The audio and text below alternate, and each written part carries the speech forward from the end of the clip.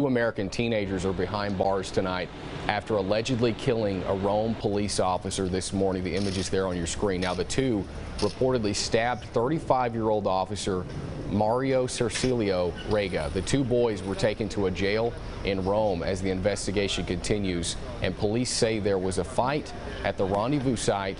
The officer was stabbed eight times. The officer had been married only 43 days and had returned from his honeymoon just this week. His funeral will be held on Monday in the same church in which he was married in.